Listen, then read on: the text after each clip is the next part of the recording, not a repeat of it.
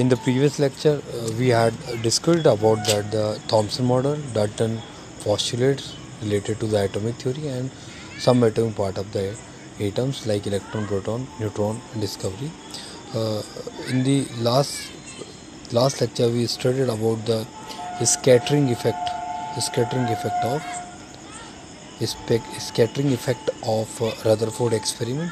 उसने ये बताया था कि जो सेंटर पार्ट ऑफ़ होता है एटम का that is nucleus nucleus consist some positive charge some alpha particle reflect there medium because very little alpha particle reflect there medium because centre part positively charge mostly alpha particles is move in a straight line because some space backend within the orbits and some alpha particles reflected there medium because alpha particle carry positive charge and outer surface carry the electron negative charge so attract the electron uh, the alpha particles okay?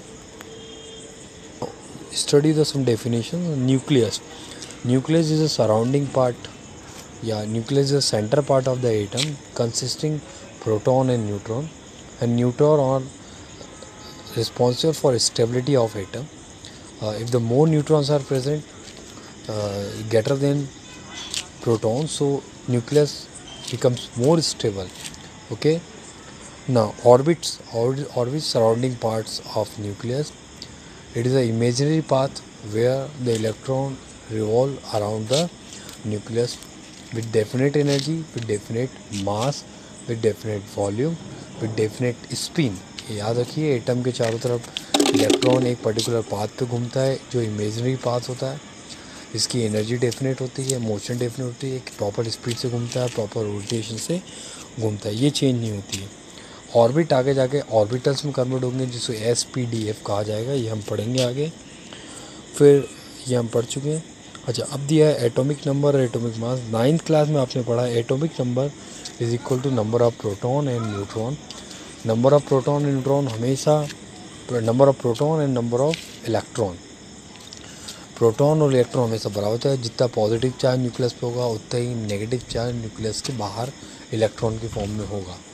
Nucleus को balance करने के लिए, atom को stabilise करने के लिए same charges होते हैं।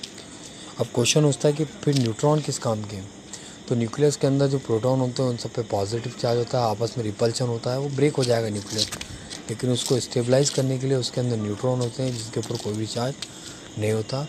अगर आपसे पूछा जाए एटम के अंदर विच पार्ट इज़ स्टेबल तो you will say nucleus why is it stable because presence of neutron अगर न्यूट्रॉन नहीं होगा तो स्टेबिलिटी नहीं होगी.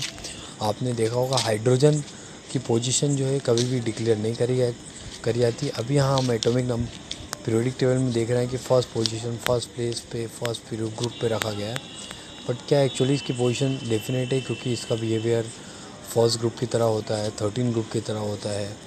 सेवनटीन ग्रुप की तरह भी बिहेव करता है। तो इसलिए तो atomic number we can say the number of proton is equal to the number of electron equal में आएगा याद रखिएगा। And the combined form is called the nucleon the number of ठीक है number of particle present in nucleus like proton and neutron is equally known as the nucleon no next दिया है आपको uh, atomic mass atomic mass is sum of the number of proton and neutron देखिए अच्छा atomic mass को ए से represent करते हैं और जो एटॉमिक नंबर है उसे जेड से रिप्रेजेंट करते हैं, ये याद रखिएगा। एटॉमिक नंबर को जेड से रिप्रेजेंट करते हैं। या number of proton Z Z is equal to the atomic number दोनों एक ही चीज़ें इसलिए यहाँ बता, बताया गया है। आइसोटॉप और आइसो बार की अगर बात करी जाए तो आइसोटॉप्स क्या होते हैं? आइसोटॉप्स की अगर बात करें तो same atomic number but different atomic mass these are known as isotope famous isotopes की अगर बात करें तो हाइड्रोजन के आइसोटॉप्स हम देखते हैं क्लोरीन के आइसोटॉप्स होते हैं. हाइड्रोजन के आइसोटॉप्स अगर देखें तो प्रोटीनियम ड्यूटीरियम ट्रीटियम होता है.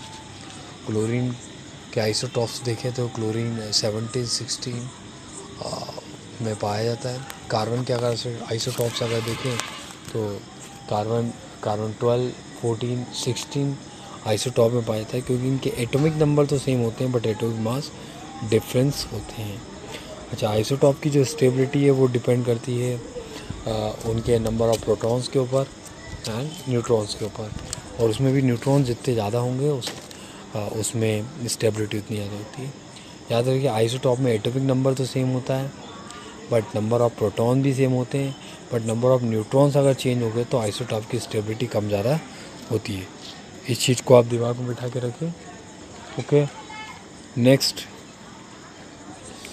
अगर हम बात करें तो इन चीज़ का इम्पोर्टेंट इसलिए क्योंकि द ऑल द जो इलेक्ट्रॉन की एक्टिविटी है मतलब जो एटम की एक्टिविटी है, वो डिपेंड करती है नंबर ऑफ़ इलेक्ट्रॉन्स के ऊपर। किसी भी केमिकल रिएक्शन में इलेक्ट्रॉन लूज़ या गेन होते हैं। प्रोटॉन लूज़ या गेन नहीं होते। अगर प्रोटॉन लूज़ और गेन हो जाए तो ये समझ लीजिए कि वो न्यूक्लियस ब्रेक हो जाएगा और lots of amount of energy release in the atmosphere for example nuclear fusion और न्यूक्लियर फ्यूज़न प्रोसेस आपने सुनी होगी। अगर किसी में न्यूक्लियर फ्यूज़न होता है या फ्यूज़न होता है तो वो एटम अपनी कम्प्लीटली प्रॉपर्टी को लॉस कर देता है। In the periodic table you have seen that the some elements are given at the at the bottom like seventh seventh period six period they are the radioactive pigment and the life of uh, these these elements are very less uh, approximate the 21 seconds some elements and some are having the more life but their stability of these atoms are very less because they are the highly reactive elements okay now question is arise that the electron rotate around the nucleus but why how does it possible the electron rotate around the nucleus तो देखिए ध्यान से जिस तरीके से सन के चारों तरफ़ ऑल द प्लैनेट्स घूमते हैं हम बोलते हैं कि सन में एक एस्ट्रॉयड सेंट्रिपिटल फोर्स होता है। सेंटर से जो फोर्स लगता है, वो वो करता है। उसी तरह किसी भी एटम का साइज़ बहुत छोटा होने के बाद भी एटम का जो न्यूक्लियस होता है, वो पॉजिटिवली चार्ज होता है और जो इलेक्ट्रॉन उसके चारों तरफ़ घूमते हैं, उसकी मोशन को प्रॉपर बनाए रखता है स्पिन को प्रॉपर बनाए रखता है। एक प्रॉपर ऑर्बिट में मोशन कराता है, ठीक है? तो इसके पीछे एक सेंट्रिपिटल फोर्स वर्क करता है। ये देखिए, यहाँ देखा, जो प्लेनेटरी फोर्स होता है वही अगर हम बात करें तो सेंट्रिपिटल फोर्स के नाम से जाएगा।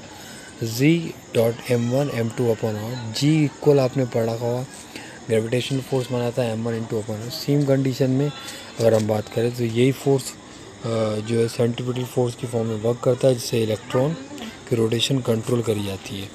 ओके मैंने आपको बताया था कि कई एक्सपेरिमेंट होने के बाद एटम के स्ट्रक्चर मॉडल प्रॉपर्टीज़ का डिफ़ाइन किया है।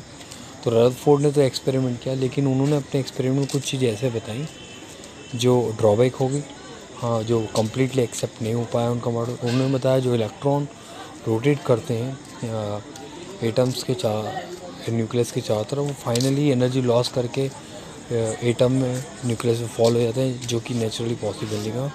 उन्हें आइसोटॉप्स के कॉन्सेप्ट को एक्सप्लेन नहीं कर पाए, उनकी स्टेबिलिटी को एक्सप्लेन नहीं कर पाए। जो डिफ्लेक्शन होता है उसको एक्सप्लेन नहीं कर पाए। इसके अलावा उन्होंने इलेक्ट्रॉन की जो मोशन होती है, वो क्यों होती है, किस कारण से होती है, ये एक्सप्लेन नहीं कर पाते। These are the drawback of the Rutherford model Ford के मॉडल में जो ड्रॉबैक्स थे, उसको रिमूव किया बोर मॉडल बोर ने। एक्चुअली ये बताया कि किस तरीके से न्यूक्लियस के अंदर इलेक्ट्रॉन होते हैं बट आउटर मोस्ट सेल में जो न्यूक्लियस के में जो प्रोटॉन होते हैं वो किस तरीके से सेटल होते हैं और इसके अलावा न्यूक्लियस के चारों तरफ़ जो इलेक्ट्रॉन प्रेजेंस होते हैं, जो ऑर्बिट में इलेक्ट्रॉन प्रेजेंस होते हैं, उनकी मोशन क्या होती है, क्या डायरेक्शन होती है और किस तरीके से मूवमेंट करते हैं। इन सबको एक्सप्लेन किया था बोर्स ने जिसे बोर मॉडल कहा गया, ठीक है? अब बोर मॉडल में, जो आप एक कॉन्फ़िगरेशन पढ़ते हैं कि बोर मॉडल के अकॉर्डिंग इलेक्ट्रॉन जो है two and two power two first shell में टू इलेक्ट्रॉन सेकेंड सेल में eight then eight eighteen eighteen thirty two जो कॉन्फ़िगरेशन पढ़ता है according to the Bohr model इसके अलावा Bohr explain the dual nature of motion of electron electron motion करता है that means उसके अंदर इलेक्ट्रोमैग्नेटिक वेव्स होती हैं, इसके अलावा उसके अंदर पार्टिकल्स भी होते हैं. यानी इलेक्ट्रॉन अपने आप एक पार्टिकल है, साथ में इलेक्ट्रोमैग्नेटिक वेव्स से. इसी कारण वो मोशन करता है, इसे dual nature of dual character of electromagnetic radiation which means that the radiation process both behave like and particle like behaviour इसका मतलब ये हुआ कि वो दोनों की तरह बिहेव करता है। Experimental result regarding the atomic spectra इन्होंने स्पेक्ट्रा के बारे में बताया। अच्छा स्पेक्ट्रा क्या होता है? जब कोई ऑब्जेक्ट अपने अंदर लाइट को एब्जर्व करता है, और जैसे ही जब वो लाइट को रिलीज़ करता है तो हमें अलग अलग कल कलर की लाइंस दिखाई देती है जिससे स्पेक्ट्रा कहते हैं। जैसे आपको बताया था था, प्रिज्म में जब लाइट डाली जाती है तो सेवन कलर में डिस्ट्रीब्यूट हो जाती है। और प्रिज्म के अपोजिट साइड में हमें जो कलर का स्पेक्ट्रा दिखता है, वो इज़ स्पेक्ट्रम इंद्रधनुष के अंदर सेवन कलर का स्पेक्ट्रा दिखता है। उसी तरह एटम के अंदर भी उन्होंने बताया कि एक स्पेक्ट्रा विजिबल होता है। ओके अच्छा वेव नेचर और electromagnetic radiations wave nature of electromagnetic radiation electromagnetic जो होते हैं, सबसे पावरफुल रेडिएशन होती है। जितनी भी नेचर के अंदर सब रेडिएशन है these are all are electromagnetic radiation X ray gamma ray U V ray ultraviolet ray microwaves full wavelength half wavelength small radio waves ये सब जो है alt U V ray infrared ray all are the electromagnetic wave इनकी speed अलग अलग होती है, इनकी वेवलेंथ और फ्रिक्वेंसी भी अलग होती है, जिसके हिसाब से मूवमेंट करते हैं ये। अब ये बात हुई कि हमारे अर्थ में सब गैस, ये वेव्स कहाँ से हैं इलेक्ट्रोमैग्नेटिक वेव जनरेट कैसे होती है? तो देखिए, अर्थ के अंदर इलेक्ट्रोमैग्नेटिक वेव के अर्थ जो है, उसके पोलर नेचर होता है नॉर्थ पोल और साउथ पोल होते हैं। इसके अलावा अर्थ के अंदर जो पार्टिकल्स होते हैं, वो मैग्नेटिक फ़ील्ड और इलेक्ट्रिक फ़ील्ड क्रिएट करते हैं, जिसके कारण इलेक्ट्रोमैग्नेटिक फ़ील्ड जनरेट होता है और इलेक्ट्रोमैग्नेटिक वेव जनरेट होती है। इलेक्ट्रिक और magnetic field both are the perpendicular to each other and the current the current pass or the electricity pass and presence of electricity or current uh, they produce the electromagnetic waves. Okay electromagnetic waves का एक order दिया है जिसको मैं आपको बहुत trick से समझाऊँगा।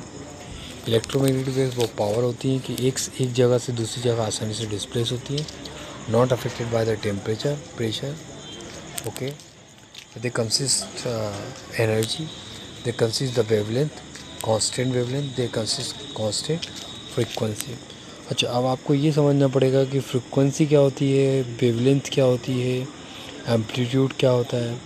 तो आपको यहाँ पे हर्ट्स करके वर्ड दिया मैक्सवेल जो है, इन्होंने फ्रिक्वेंसी का कॉन्सेप्ट दिया था। हर्ट्स कॉन्सेप्ट और उनकी यूनिट्स हर्ट्स में कैलकुलेट हुई थी, क्योंकि हर्ट्स ने कॉन्सेप्ट दिया था।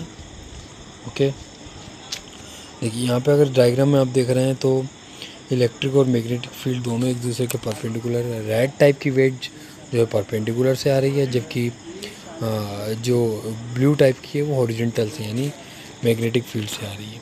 देखिए, एक दूसरे के परपेंडिकुलर है, उसी से काम होता है। इसकी ट्रिक देखिए, मैं एक ट्रिक आपको सिखा रहा हूँ, ये याद रखेंगे तो आपको हमेशा याद रहेगा। Look at white board the trick is there gamma X U में red F M long radio wave बजाओ। देखिए शॉर्टकट ट्रिक को। फिर से गामा एक्स यू में red F M long radio बजाओ। दैट मीन्स कोई एक्स यू गाड़ी है, उसमें red F M long radio बजाओ। यानी एफ़ एम जो है लॉन्ग रेडियो में बजेगा। इस तरीके से आप अगर आप तो gamma ray X ray U V U V ray violet ray, यानी विजिबल रे आ जाएगा। वी मतलब रेड रेड मतलब आपको मालूम आई आर होता है इन्फोरेड रे। इन्फोरेड जो है रेड कलर की होती है। एफ़ एम फिर A M long radio waves फिर शॉर्ट रेडियो वेव्स इस तरीके से हमको याद रखना है। गामा गामा सबसे लॉन्ग रेंज होता है then X X ray U V मतलब अल्ट्रावॉलेट रे यू मतलब अल्ट्रावॉलेट रे और वी विजिबल रे के लिए। याद है कि दोनों अलग अलग है।